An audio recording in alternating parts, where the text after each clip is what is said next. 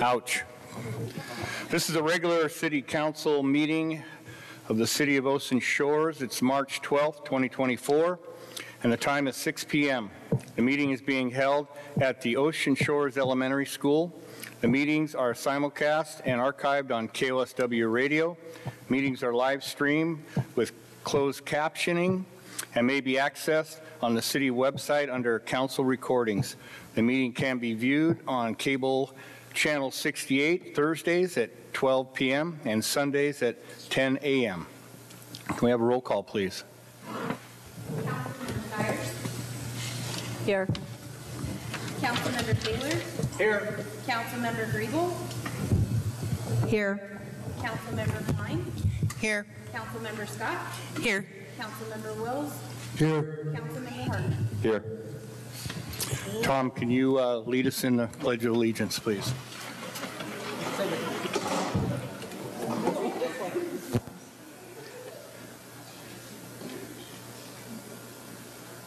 I pledge allegiance to the flag of the United States of America and to the republic for which it stands, one nation, under God, indivisible, with liberty and justice for all.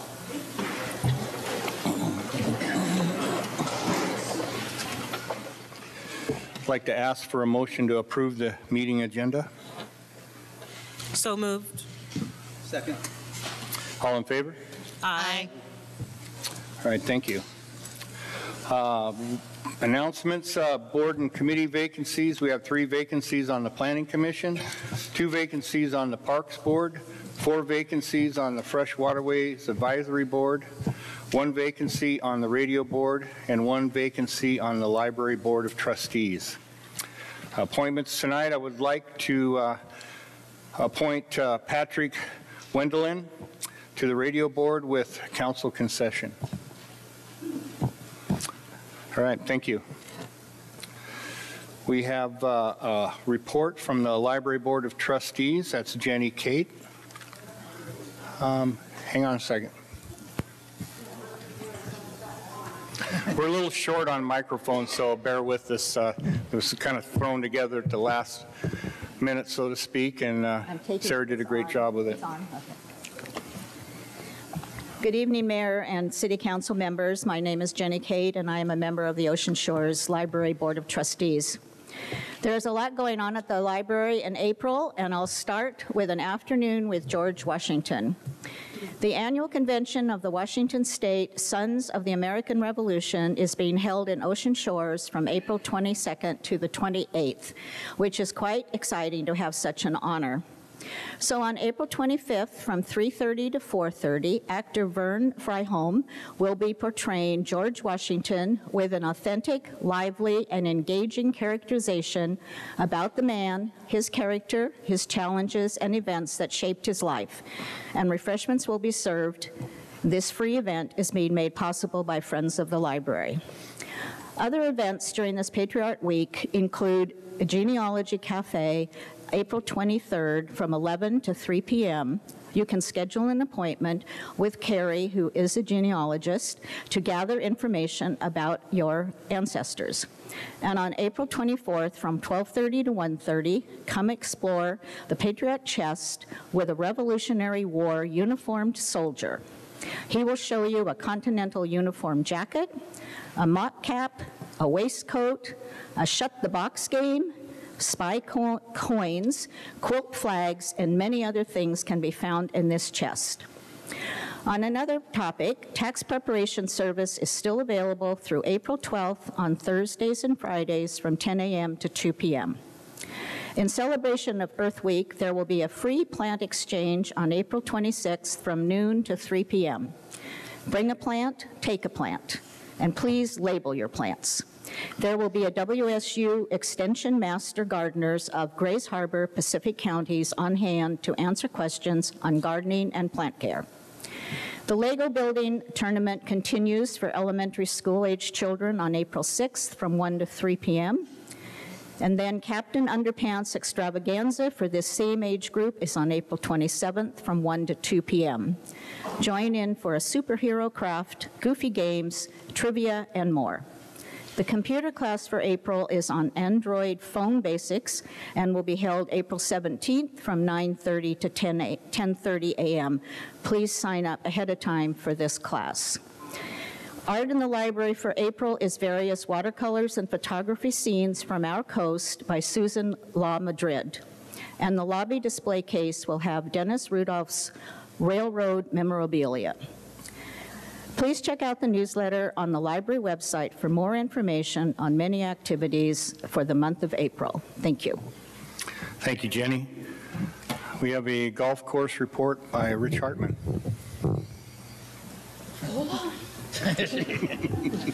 Your steps in.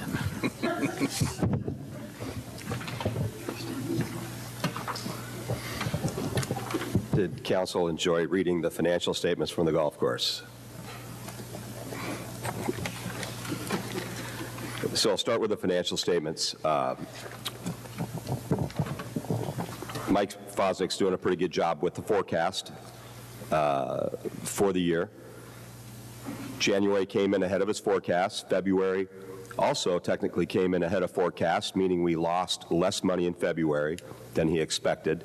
So with January's profit and February's loss, we're still ahead of forecast for the year. We're, we've made $5,000 for the year uh, versus its projected of 4,600.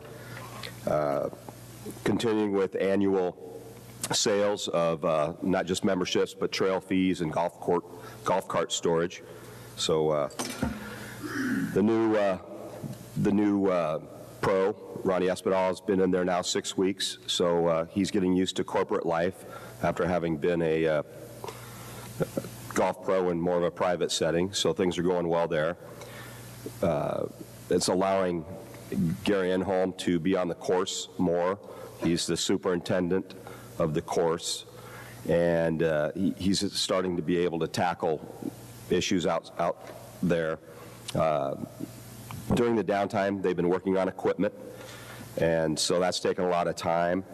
Uh, He wants to thank the city uh, administration for helping them. They've had some uh, problem trees, dangerous trees that they've uh, got the city's help with managing. They've had some other uh, acquisition questions on gravel and other products that the city's helped them out with.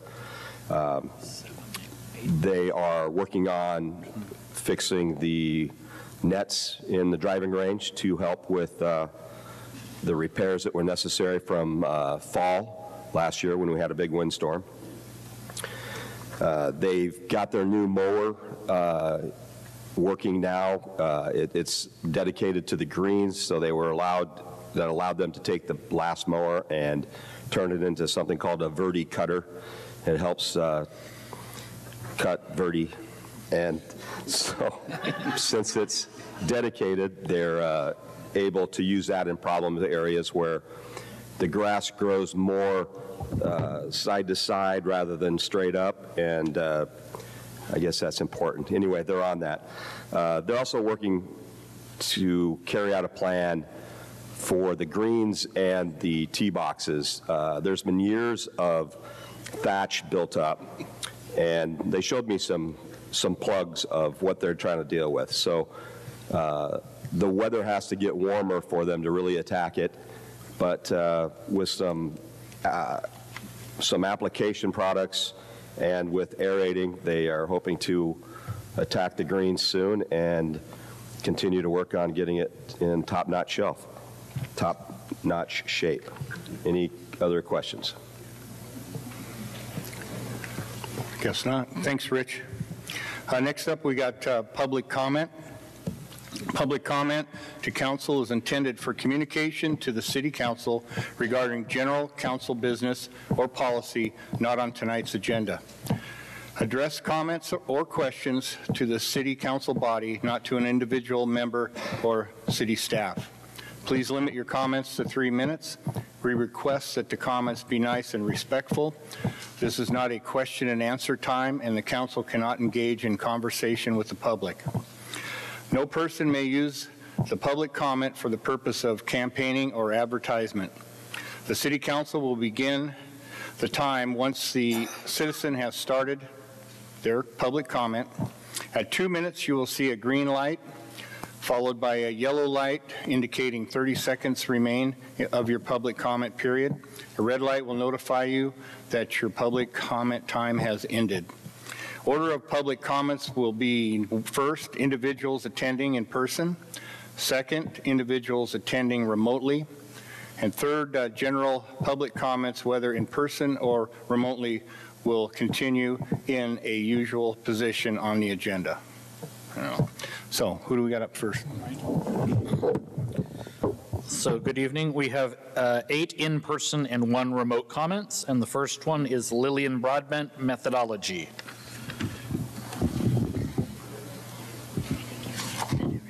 That'll work, right? I think so. Can you hear me? Okay. Uh, My name is Lillian Broadbent, and tonight I would like to ask a few questions relevant to the methodology for some of the current projects.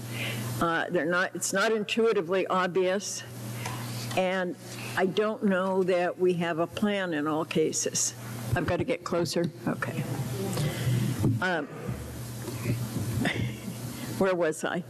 Uh, One of the things that, that pops up to me that we don't seem to, we're, we're in the process of making lots of little stop signs apparently. And I don't know that, I don't know what the methodology is. Have we done a traffic study? Do we know where they're going? Do we have a plan? Uh, Certainly, we don't want a traffic stop at every little street. Uh, But it appears that we're just proceeding with putting in stop signs. Again, I just like to understand the methodology. I'm not opposed to them, I just would like to understand the methodology. And the same is even more true for this survey that's going out, quasi-vote survey. Uh, I asked Jane, Jane, uh, it told me in, in a meeting that we had a week or two ago that there was going to be one survey for every parcel. Um, Because we don't want to do a regular vote, which would be the normal policy, uh, but we want to include some of the campers, or all of the campers. But just by going by parcel, what you're going to include is a whole lot of LLCs, uh, family trusts, all sorts of things that have very little to do with either camping or, uh, or our city. And I think that we need to, some thought needs to be put in, if this is going to be used like a vote, only it's a survey, and, but everybody gets to participate, whether they have any local interest or not, um, I, th- I think we're borrowing trouble. And I would really like to see a little more thought put into it. Thank you. Connie Clifford, Life in Ocean Shores.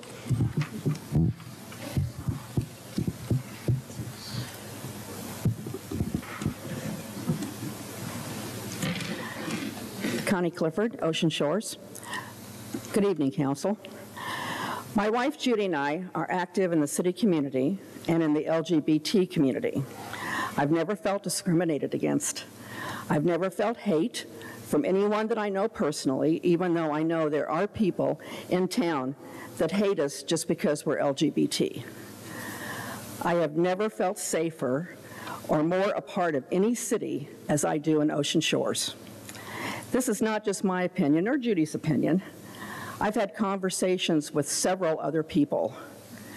We do not like the LGBT community looking like bullies or scared rabbits. We just want to look like part of the city and be liked or disliked for who we are, not what we are. Thank you.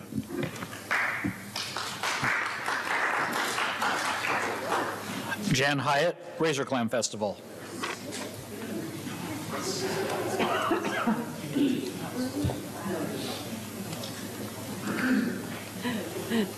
Jan Hyatt, Ocean Shores, uh, good evening.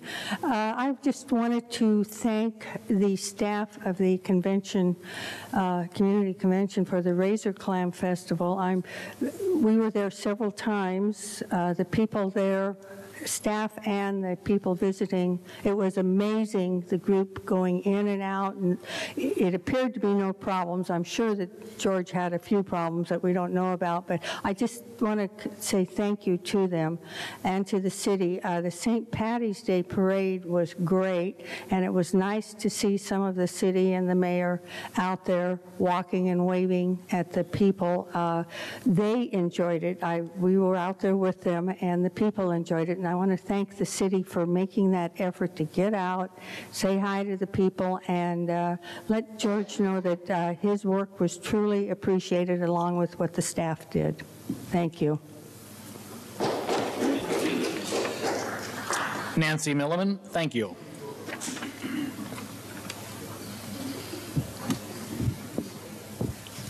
Good evening. This April 8th marks 15 months since about 40 residents of Dolphin Avenue Northeast left our meeting with the past mayor and our police chief.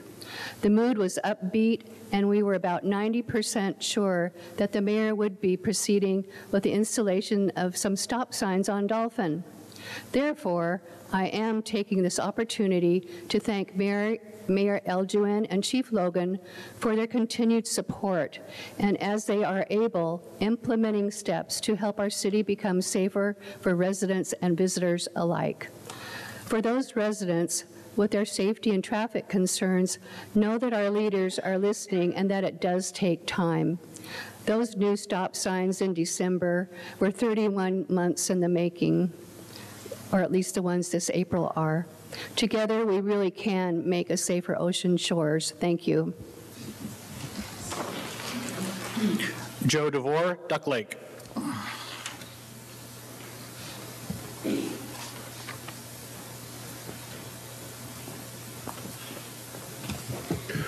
Good evening, Mayor and council members.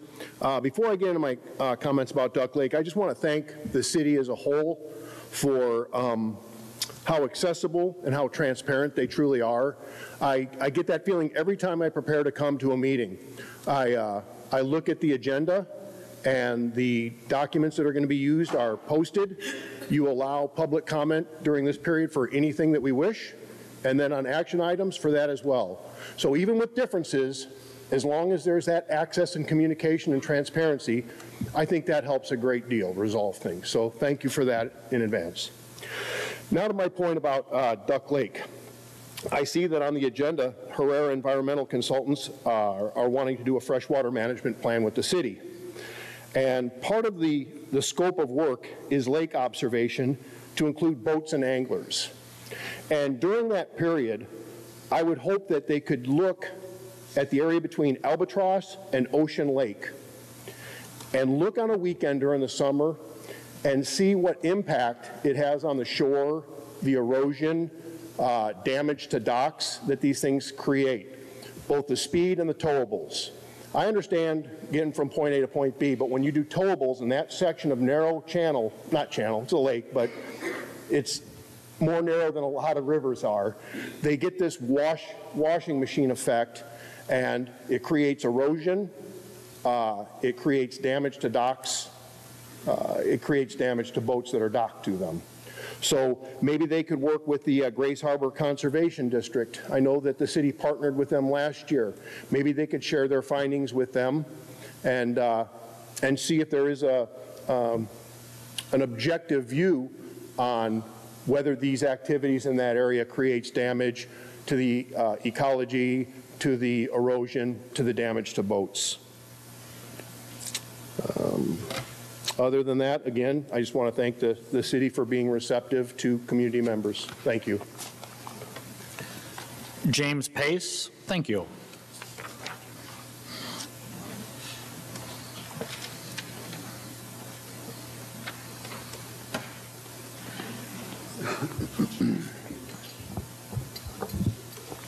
Can you guys hear me okay? Or is that too quiet? Can be louder? okay. Good evening.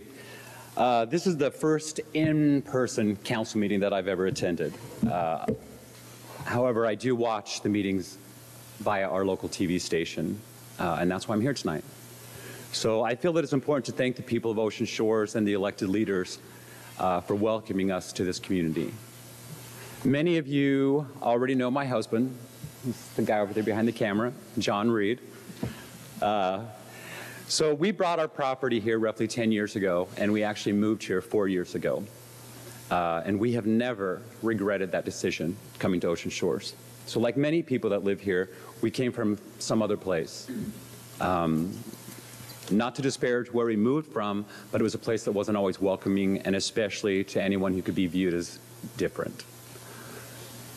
So some comments have been made against Ocean Shores and its leaders that this is not a queer-friendly place to live. I absolutely disagree. I feel fortunate to be a member of Ocean Shores community, and when I say that, I mean the entire community, not just the queer community. I love the queer community here, and I love, love, love the entire community here. So as a gay man, I'm here tonight to let my voice be heard. So what I see, I see so many good things happening here. My husband and I have been to all sorts of events. Uh, we've met with our elected leaders and visited many businesses, and we have never we have never felt discriminated due to our sexuality. I'm not a naive person. I've experienced threats and discrimination. Whoops. Technology. I'm not a naive person. I've I have experienced. Um, oh, I'm sorry, guys. Threats and discrimination. I know there may be fear or confusion when we encounter people who are different than ourselves, but in my experience, Ocean Shores is a community that strives for acceptance and inclusion. I see people from different backgrounds, often with differing opinions, coming together and engaging one another in healthy, constructive ways to better our community. My husband and I and our children have always been treated with respect, acceptance, and have received nothing but support and encouragement from the community. And many of the residents here have become very good friends to us. So I would like to thank the council for building and maintaining a community that we can all be proud of and that we can all be a part of. I appreciate this council and the people of Ocean Shores who come together to learn, grow from one another, and focus on making this a safe, welcoming place for everyone. Thank you, you guys.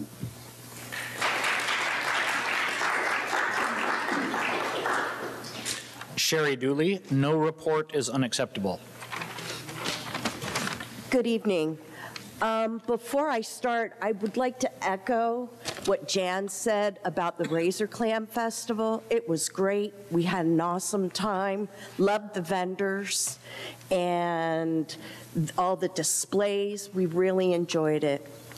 Um, I'm here to talk to the council.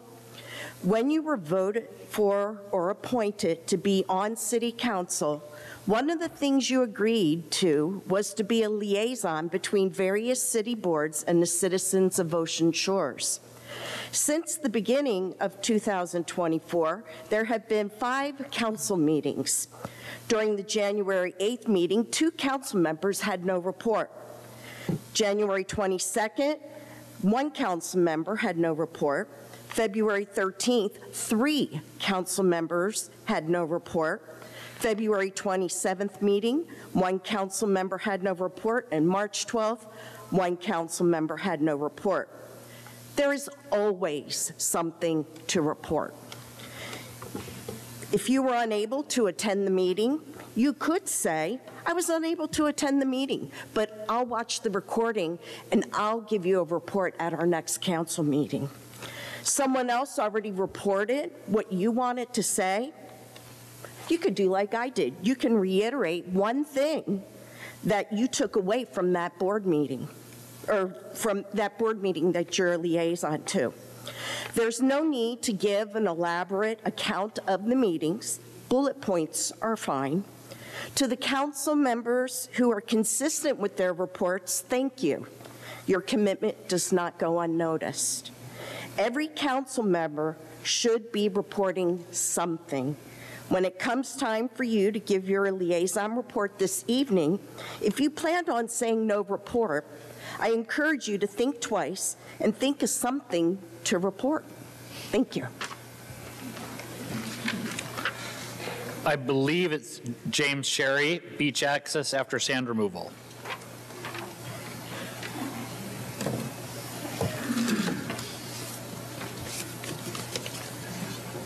Good evening, Mr. Mayor and uh, council members. My name is James Sherry.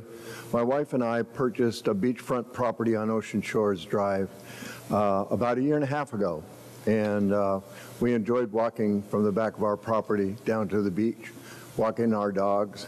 Um, we also enjoyed being able to walk down to the public access at Beach Street uh, and, and uh, access the beach there.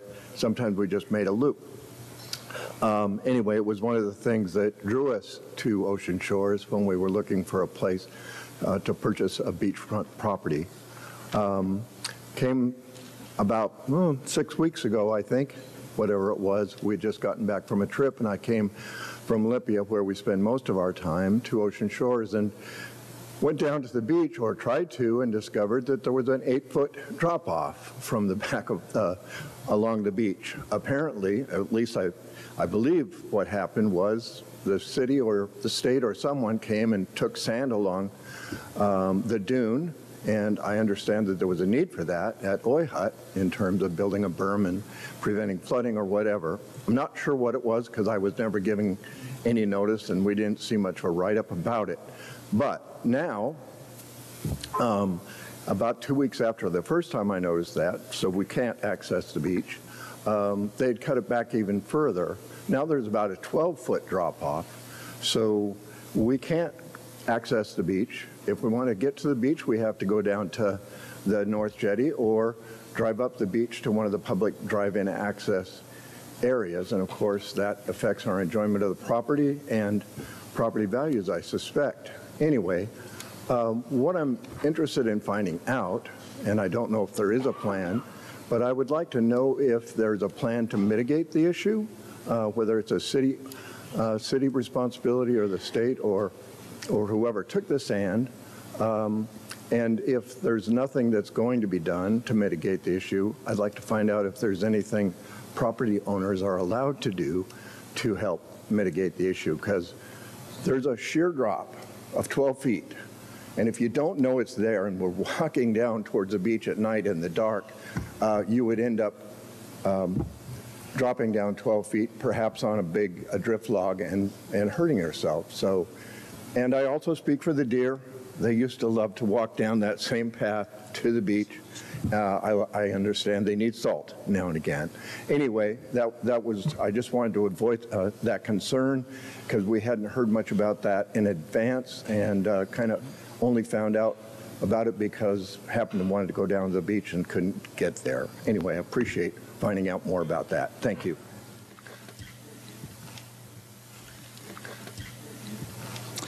Uh, and then we have one remote public comment, Don Williams, Excess Street Lid Fund.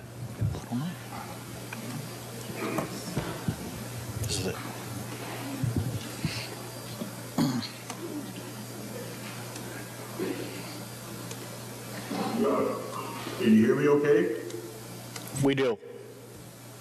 Yeah, I'm having a, uh, am I okay? I'm having a lot of trouble understanding anything. Uh, um, am I on okay? You are on just fine. Okay, thank you. Um, at the March um, 13th Town Hall meeting and also at the um, uh, Finance Committee meeting last March 19th, it was last week, there was mention of a uh, of the $29 million bond that the city took out about 15 years ago, actually 1911, uh, 2011, to pay the cost of street repairs. Uh, it was just, it was a lid, uh, uh, lid number, um, I think it was uh, 0701 or 1101. And you may hear a lot about this when the budget starts coming along because um, those bonds, I understand, that bond is going to be retired early next year and it's going to create a, a very large, a fairly large windfall of, uh, of cash to be used in some way. Uh, that bond was used to pay off about a $36 million project in the city on the street.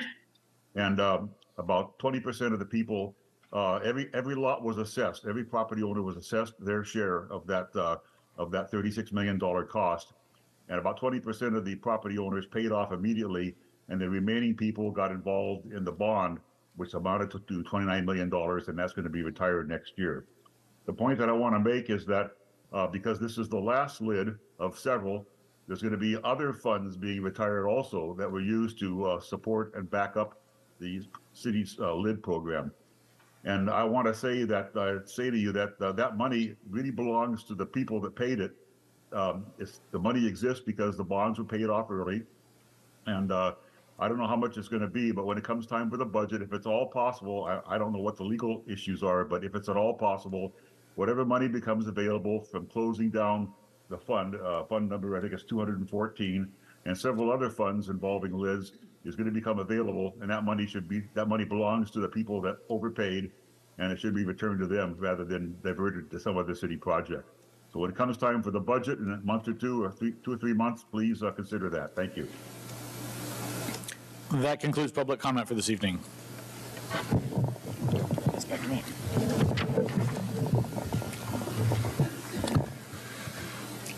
So next we have uh, staff reports. Uh, First report, um, City Administrator Scott Anderson. Thank you, Mayor. Thank you, Council. Thank you, citizens. Um, If you were, you're going to hear, I've heard a couple of these if you were at the Public Works Committee meeting, uh, but for those who weren't, I'm going to just go over them again briefly, not everything, but some of it. Uh, The first one, uh, erosion at the south end. Um, Erosion mitigation was done on the sand berm on February 12th, February 13th, and then supplemental work was done over the past two weeks, although not this week.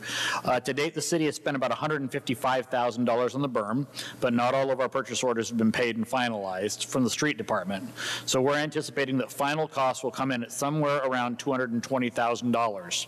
That's nearly half of the $500,000 that the city council set aside for erosion. However, the city is in line for a reimbursement, a potential reimbursement of $127,000 as the state of Washington has recognized the emergency for Grays Harbor. Governor Jay Inslee issued an emergency proclamation related to extreme weather uh, in January, and he signed that on March 15th. Uh, the proclamation pertains to Grays Harbor County, as storms here caused significant coastal flooding and erosion throughout the county, uh, and it passed the $30 million threshold uh, that is necessary to declare it an emergency. So the Washington State Department of Emergency Management, the Emergency Operations Center are, are going to response so we can submit those receipts. Uh, the hopefully the city will get that $127,000 back, uh, and the city also hopes this will be the last work on the storm uh, for this season, uh, as the storm season is coming to an end. I will let you know that we are looking at some alternatives uh, for erosion mitigation, um, but we will come to that when we will announce sort of publicly what we're looking at when we have a little more information ourselves. Um, Some, a lot of events that are coming up. Uh, Jenny Kate mentioned part of it at the library board, but it is going to be Patriot Week shortly. Uh, At the next city council meeting, I will have a lengthy and detailed uh, report on what that's going to entail for the city, but there's going to be a lot of great events. Um, But one of them I'll announce tonight, and that's that the city will be working with volunteers starting on April 1st to install the new pocket park at the entrance of the High Dunes Trail. Uh, The park is expected to open on April 24th with a dedication by the Sons of the American Revolution, uh, presenting a bench at the park and dedicating it to our veterans. Uh, The park will be a three-tiered level park with um, uh, the razor clam sculpture and the memorial bench, and we hope to serve as sort of the official access point uh, for the city's beaches right there on Chance a la Mer. Uh, And in addition to that, we will be adding a sidewalk connection at the Shiloh Inn. Um, For those of you who no- noticed when we walk the Dune Trail, there's a sidewalk that sort of dies just before you get there. Um, That is going to be, uh, the city is working with Simmons and Sons Construction to finalize that, and we hope to have that finalized by the 24th as well, so that everyone will have access to the park, uh, and everyone will be able to enjoy the High Dunes Trail. Regards to Chinook Playground update, the equipment, uh, there is a bid out for Chinook Park to have their new sidewalk installed prior to building the playground there. Uh, The work for the sidewalk is being bid. We hope to have everything completed by May 15th. Uh, The sidewalk will make the playground ADA accessible and will allow people to get to the ADA accessible swing that will be there. Uh, We're working with the playground manufacturer uh, to get everything done, and we'll be working with volunteers to help build the playground equipment. Uh, And there will also be a fence that will be built that will run along the entire road of Duck Lake Drive to prevent children and/or pets that get out of the dog park from running out into the road uh, and just make the city safer. So we look forward to that. Um, This is a larger one, and I'm going to, make it short, but it's a very important one. It's about the North Jetty update and the North Jetty repairs, and I just want people to understand what is happening with that. So the U.S. Army Corps and the Port of Grays Harbor received approximately $14.6 million, um, 3 million through the bipartisan infrastructure, uh, sorry, 3 million through an appropriation and about 10, almost $11 million from the bipartisan infrastructure law. And the overall scope of this project is to restore the 7,500 feet at the North Jetty, including repair, repairing damaged sections and bringing the crest height of the jetty to 23 feet, which is the highest it ever was. The project is estimated to take up to 2.5 years and will A, um, serve as a nav- help the navigation for the harbor, but B, it will protect some of our vital infrastructure down there, including our wastewater treatment plant. Uh, The Army Corps of Engineers is working to get this project started, um, but there are a number of elements that remain. Um, They hope to, oh, they were hoping to award in a bid this year, but it's looking like because of the permitting, the environmental plans, and the specifications, that uh, the estimated start of solicitation will be May, June of 2025, and the contractor will start work somewhere in July of 25, and it's estimated that it will take approximately two years to complete the entire project. So hopefully, the entire North Jetty will be repaired somewhere by October of 2027. Spring cleanup is once again upon us, April 24th to 28th. It is coming. Uh, This is an extremely popular event at the city, and we are doing it at the way we did it last year, down at Ocean Lake Way. Signs will be posted how to get it. Uh, It's intended for individual property owners, not commercial dumping. Um, And there are rules and restrictions for what you can bring. You can find all of those online, or if you have any additional questions, feel free to call me, and I can try to answer those to the best of my ability. If you want to schedule a home pickup, uh, and this is for people who really cannot get out of their home or they have mobility issues, um, you can call 360 289 2824, and this will be put online to schedule a home pickup.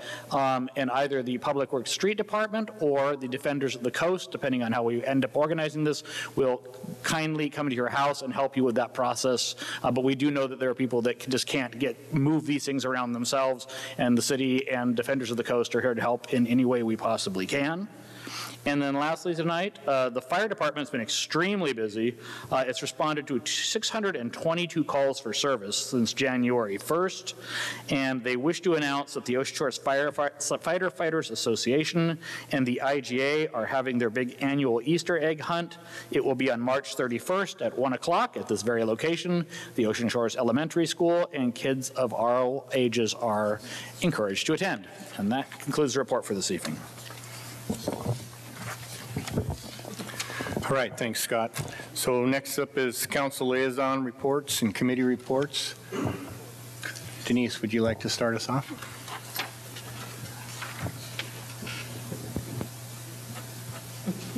There we go, we're green. Uh, I, I signed warrants, and today I uh, attended the radio board, and uh, two things I wanted to call out there. One is that there had been some complaints uh, about the coverage with the switch to the new frequency.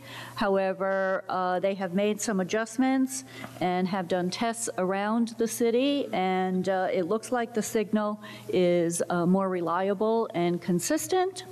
And that, of course, is uh, 88.9, the new frequency. Uh, The other thing is that the radio board is inviting, they said that they have invited council in the past to come and talk with them, and no one has taken them up on that. So I am extending that invitation one more time on behalf of uh, KSOW for all of you to come and speak with them. All right, thanks. Rich?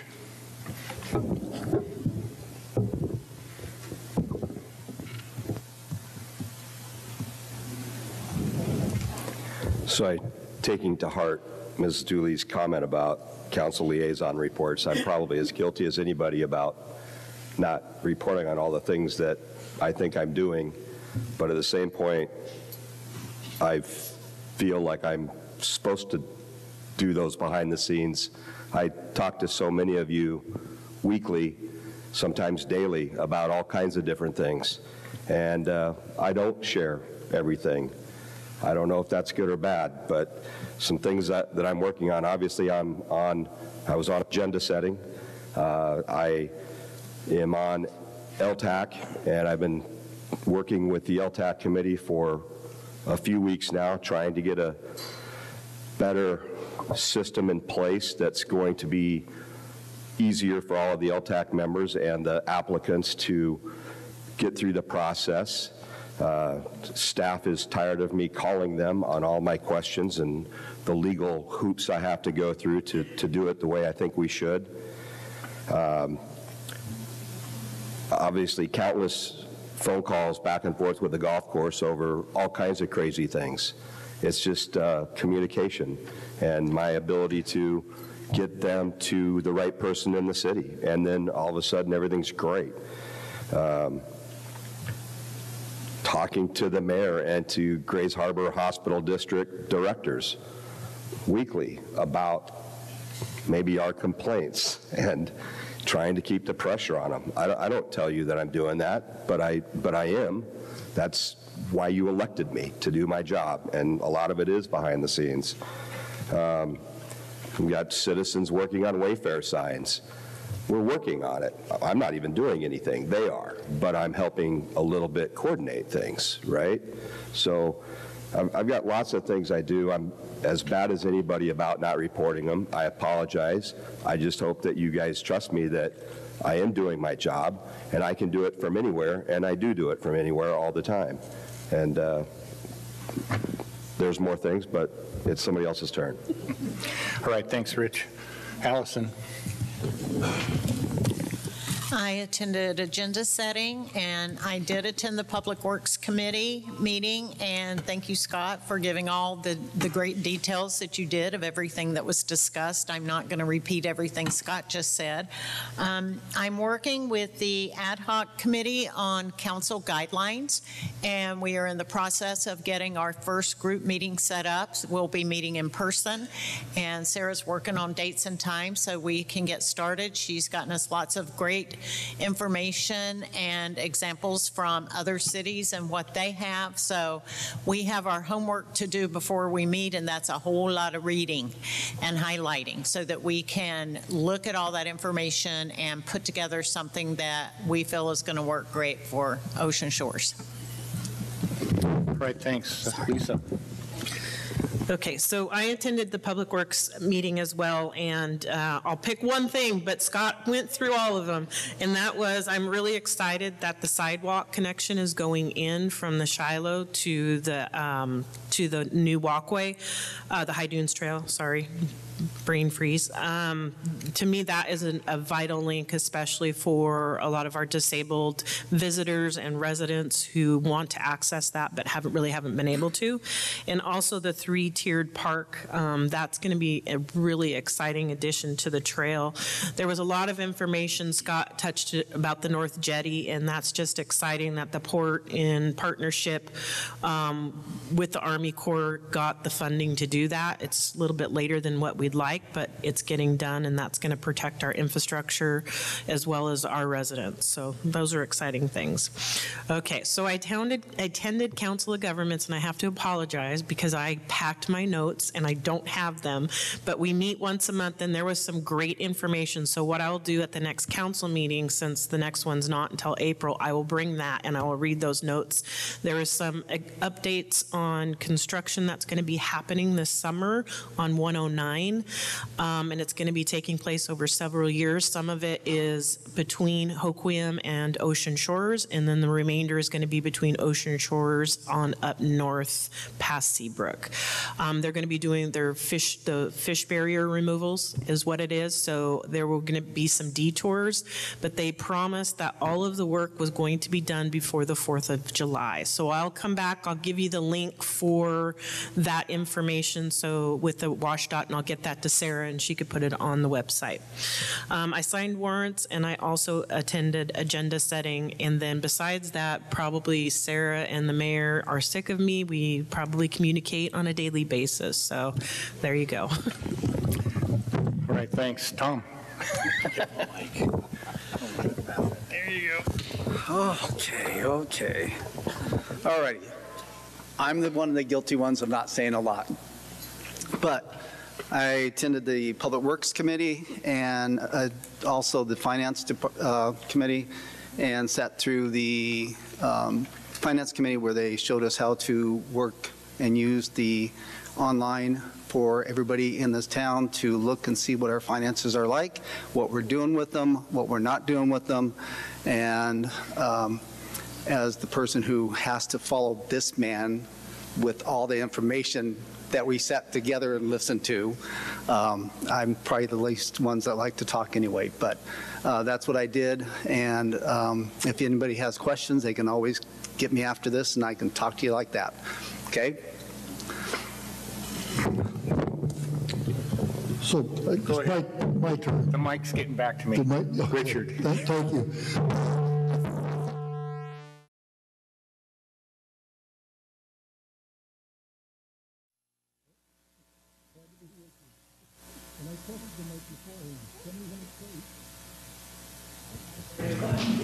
So am I loud enough? Can you all hear me? Yes, thumbs up, no? No? How, how's this? So um, a, th- a thing that I think is important to say is I'm on several liaison committees and, too loud? Closer. So for me, it's booming, but that's my hearing aids. Thank you. So I attend several, I am a liaison on several committees. They don't always meet in the interim between the council meetings. So sometimes I don't have anything to report because there was no committee meeting. However, this time, the Parks Board had a meeting on the 13th and they canceled. So I still have nothing to say this meeting, except that I did attend the town hall meeting, and I want to commend Angela on what a great job she did on explaining the new Go- uh, ClearGov document uh, uh, process. If you haven't looked, it's easily accessible through the city's website, and it makes looking at the financial documents much, much simpler than the old system. So that's all I have. Thank you. All right, Lisa, you're next. All right, just a reminder that the library board meets every other month, so they don't meet once a month. But their next meeting is April 10th, my birthday, at 3 p.m. And they wanted to make sure, even though they're not meeting, to remind everybody that they are looking for a new library board member. So they're hoping people apply, and applications close on Friday, May 29th. All right, thanks. Next up is the mayor's report. Uh, I want to let everybody know that the coun- council um, retreat has been canceled for Saturday, and uh, we're going to have a town hall from 12 to, we got the room until 2, but I don't know if it'll take that long. But what we're going to be discussing, and because this had just come in and we've got to make some decisions, the city does, we're going to have a a town hall about spraying and harvesting in our fresh waterways. We have the pricing for all of that.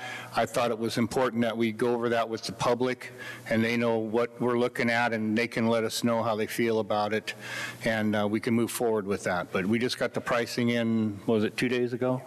Yeah, on that. So um, we'll be having that this Saturday, 12, 12 to 2 at the convention center, so I hope everybody turns out for that. I want to hear what everybody thinks about that.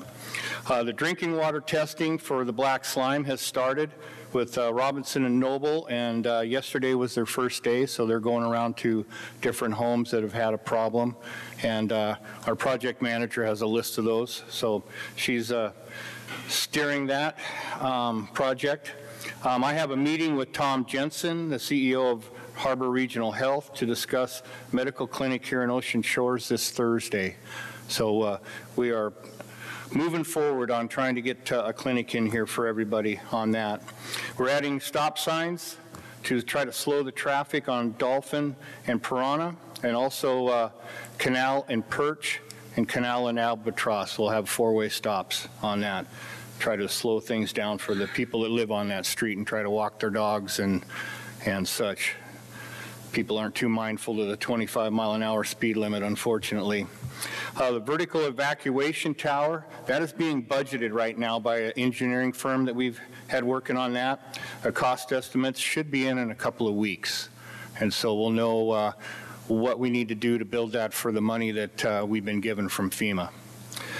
So uh, also, uh, we're in the process of writing two ordinances.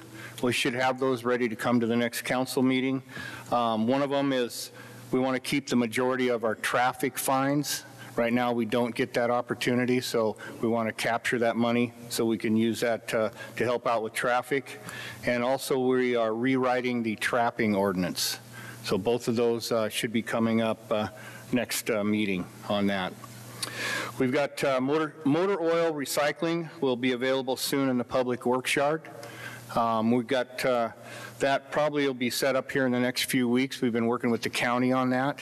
We had that service behind the bowling alley for quite a few years, and it's been gone for a while, and it's been a concern of mine that I don't know where this oil is going, that used to go into that container, because a lot of times I went there to dump my motor oil and the thing was full, so it seemed to be a popular item here in town. So we got that coming back, and uh, hopefully the oil, motor oil will be deposited where it needs to be, um, and not uh, in the neighbor's yard or something. I don't, I don't know if that's going on, but I'm worried about that anyway. Um, And then we need volunteers for the dog kennel. Um, we need uh, people to help with the dogs, um, take them out, walk them, feed them, you know, clean up after them. And we also really need some foster homes. And so we would love to have some people volunteer that could be uh, a foster home for the dogs. The kennels aren't the biggest, and uh, dogs do much better in a home environment than they do uh, in the kennels there. And if you're interested in doing that, contact our police department. Um, They'll take your uh, information, and uh, there's a process that you have to go through with some background checks and such, but they can take care of all that and explain that to you. So I hope that um, people uh, sign up and help out with that. We, we really do need to help, and we've had some wonderful dogs in there, just sweethearted dogs, and it's sad to see them um, have to spend too much time in those cages, you know, and so we'd like to see uh, foster homes available for them on that. And uh, I think that concludes my report. We've got uh, consent agenda. Can I get a motion to approve? I'd like to make a motion to approve the consent agenda. Second. All in favor? Aye. All right, thank you. All right, so next up is old business. And this is the second reading of an ordinance of the City of Ocean Shores, Washington, establishing Chapter 2.59 of the Ocean Shores Municipal Code relating to standing committees. And this was brought on by the City Council, wanted to see some updates to the descriptions of the Finance and Public Works Committee, along with a few housekeeping items. And this information has uh, been updated as requested by the council. So do we have any uh, public comment? Okay. Uh, Council, questions, discussion?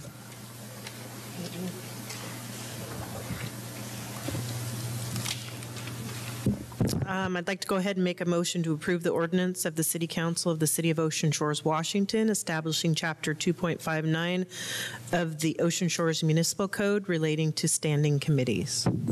Second. All in favor? Aye. All right, thank you. Next up, uh, we have uh, new business that's presented by our city administrator, Scott Anderson. Oh. Sorry. Sorry. We'll figure it out for the end of the meeting. So, okay, this is a request to the city council, uh, the, a request to the city council of Ocean Shores, Washington to award the fresh waterways management plan contract to Herrera Environmental Consultants. And uh, so background before I turn this over to our, our expert who should be on the phone, Tim Clark. Uh, the city council approved a budget of $165,000 for a fresh waterways management plan in December of 2002. Um, there was some dispute as to what to call this. And keep in mind, there's a number of different plans that have gone around. And so some people were confused. There's the IAVMP, there's the spraying and the harvesting that we're doing.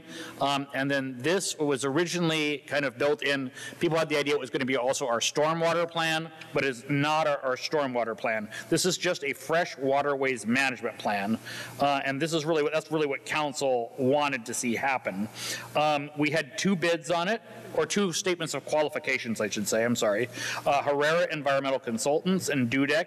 They provided their statements of qualifications. Uh, We scored those, and Herrera won. We thought they had a sort of superior proposal, and then they went out and they bid on it, uh, and their budget proposal was $165,000. It's being paid for out of Fund 438, the Storm Drain Fund. The BARS number is available, and you can see this actually breaks down the Herrera uh, statement of qualifications, and then as you go through it, you will also see the scope of work, and they have several items that are listed that start with the number one, uh, the project management. But if Tim Clark is on the phone, I will let him, our expert, walk through that with you, uh, so that way when it comes to public comment, uh, if we have any on that, he can assist. Tim? Can you hear me? Hi, yes, I'm here. Can you hear me? Hear you perfectly, oddly enough, under the circumstances. Sorry? No, we hear you. Okay. Hi, uh, thank you for the opportunity to share about our proposal um, for our approach for uh, developing a management plan for the fresh waterways of ocean shores. Um, I won't go deeply into the details. We have the uh, materials um, shared with you, but ultimately our goal here is to work with the uh, community and government of Ocean Shores to develop uh, a management plan that caters to the uh, needs and desires of it. And so, you know, one of the first efforts we want to be looking at is really developing specific goals and objectives for what are we trying to achieve with this management plan and as Scott alluded to, it's kind of back and forth of what, what are these goals? And so one of the first things we want to do, and that's outlined under our task two here, is to host several uh, meetings to describe and, and work with and facilitate uh, the development of those goals and objectives. Um, uh, I heard a public comment earlier on the, about concerns on erosion, and so that um, is important for us to elevate and can help inform what kind of monitoring we will be doing. Um, traditionally, we really focus on algae and cyanobacteria blooms. The blue-green algae blooms have produced types of toxins in our management plans, but also we can really consider these different erosive impacts, as well as considering the balancing act of uh, the algae and the invasive uh, aquatic plants. And so we want to be able to really understand what are the community's concerns and the government's concerns for the fresh waterways. And I understand that it's going to be maybe pretty unique for each of the different unique waterways within ocean shores. Um, it is a um, really interesting maze of canals. I've really enjoyed sort of piecing my way through it and trying to understand what flows into what and I think that's going to be really important for us to understand is where are the uh, places concerned. So I'm very excited to um, start off with that engagement. And then moving on, based off of those findings, we would move into doing some uh, actual water quality monitoring um, to help understand uh, some of those data gaps that exist. Um, I, there has been limited water quality monitoring that I'm aware of um, since uh, some work that was done in the 1990s, and so we would want to come back in and update uh, some of those data sets so that we can make sure we're making science, science-based management uh, recommendations. And then ultimately, we want to compile this into a plan and identify those management um, actions to help meet the goals that were developed um, early on this uh, plan formation. Um, so that's kind of uh, that. That's it at a high level, um, and happy to answer more questions in the details around that. Um, but I want to respect your all time. Yeah. Okay. So you want to? Sorry about that. Um, Do we have any public comment? Yes, Joe.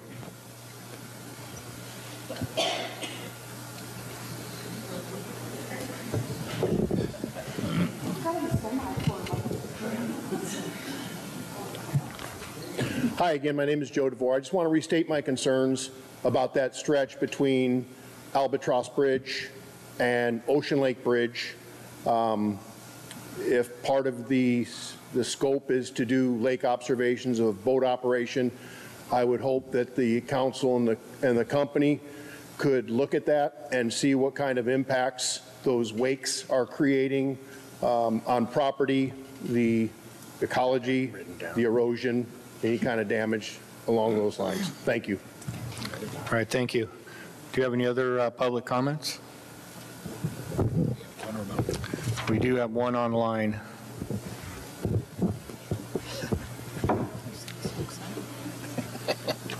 All right, Don? Yeah, are you calling tonight? I can barely understand what's going on, but uh, am I okay now?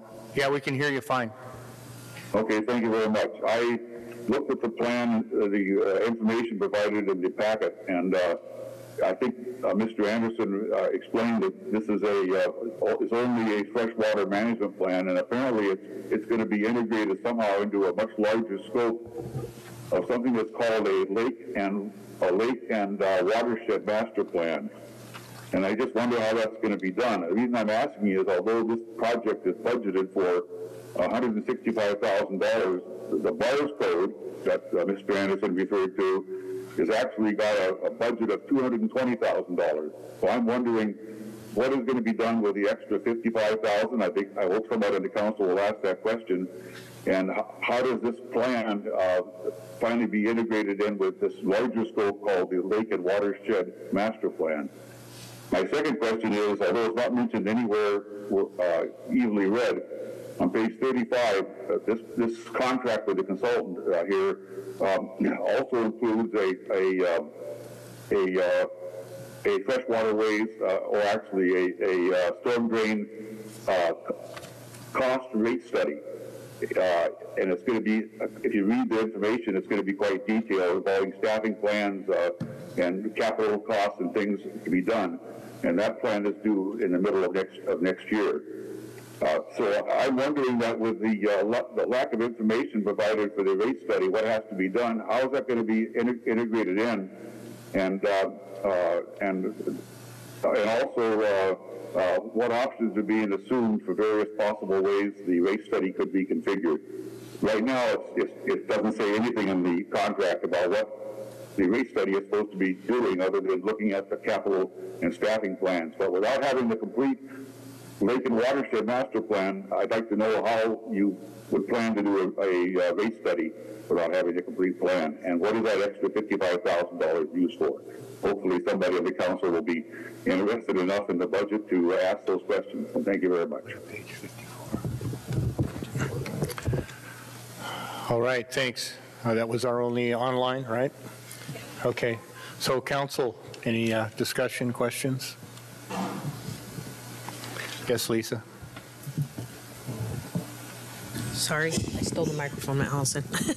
um, under the stormwater utility rate staffing, the first part of that, the project team will provide the stormwater utility rate and staffing study.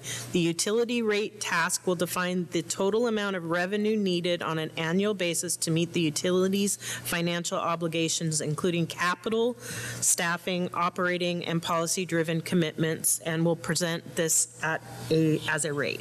So that will be looked at as part of this. I just turned myself off. I apologize. Um, we are looking at looking at that as part of this, but realize that additional measures will be ongoing when it comes to this because our fresh waterways are definitely part of our stormwater. All right, thanks, Lisa. Anybody else have anything? All right. Okay, then I would like to make a motion to approve a request of the City Council of the City of Ocean Shores to award the Fresh Waterways Management Plan contract to Herrera Environmental Consultants. Second. Any more discussion? All right. All in favor? Aye. All right, thank you. We don't have any discussion items today, no uh, executive session. Agenda review will be Thursday, March 28th, this Thursday, 9 a.m. via Zoom, and that'll be Council Member Scott, Wills, and Hartman on that. So we have uh, good of the order. Lisa would, Griebel, would you like to go? Thank you. I'd just like to remind our community that I have um, a meeting with our community every Sunday, 2:30 in the library meeting room at the Ocean Shores Public Library. We are not meeting this Sunday, March 31st, because it's spring break. So if you want to come and have a chat with me or perhaps some other council members, we will see you April 7th, Sunday, April 7th, 2:30. I Also like to give a thanks to uh, Jane Shattuck, who has been working behind the scenes on the dog kennel, and Mayor Elduen mentioned the need for volunteers. I volunteer there, and it's a great, very fulfilling um, task to do. And also just encourage you, if you want to become a foster home, it makes a huge difference. Uh, My husband and I adopted, we fostered a dog from the dog kennel that had been there a very long time. And it's been, she's a great dog, we love her, and I want to apologize to all my neighbors because uh, because of a long time in the dog kennel, she does have a lot of issues. So if it really prevents that from happening, if people open their homes and their hearts and can foster a dog from the dog kennel. So I encourage everyone to do that, and thanks again to Jane for spearheading that. All right, Richard. Thank you. We live in a great community, and I'm grateful to be a part of this community, and just want to give thanks to all of the residents who live and work and play in this community. Thank you. Tom.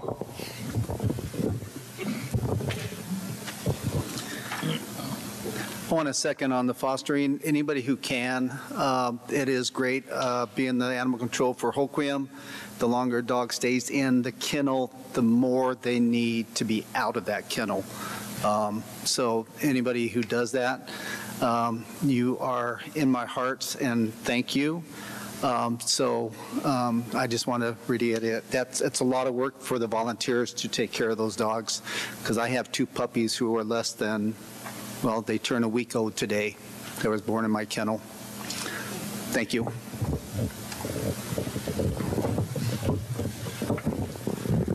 Lisa.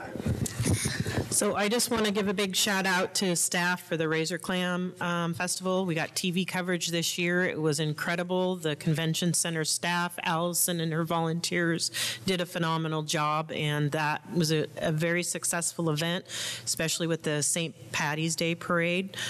Like to also give out a shout to Defenders of the Coast for keeping our um, sides of the roads clean. It's been really nice to see people out there picking up litter, and I plan to get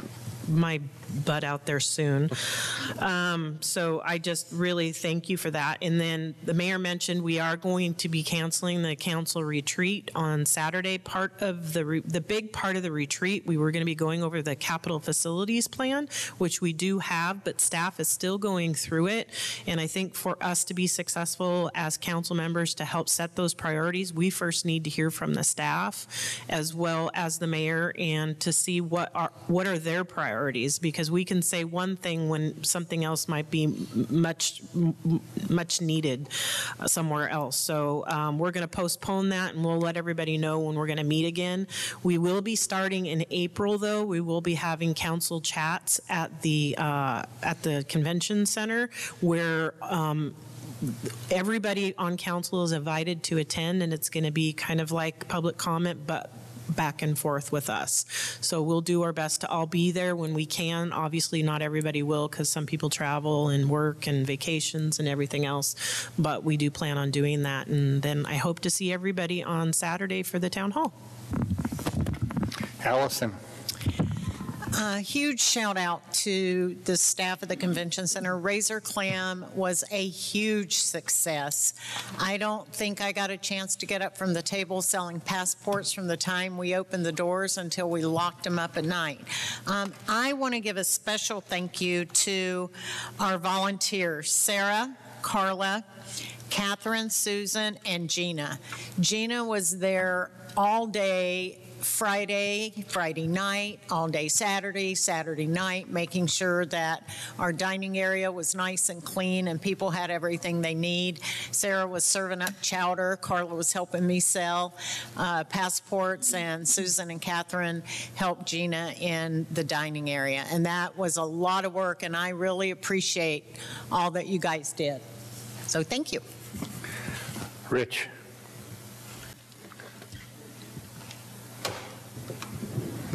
I have nothing. Denise?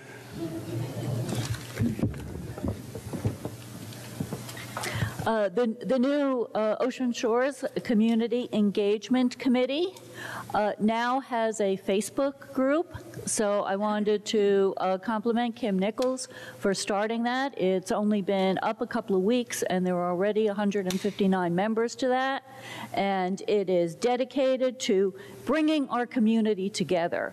So uh, a a nice positive Facebook group that will list events. So a compliment to her.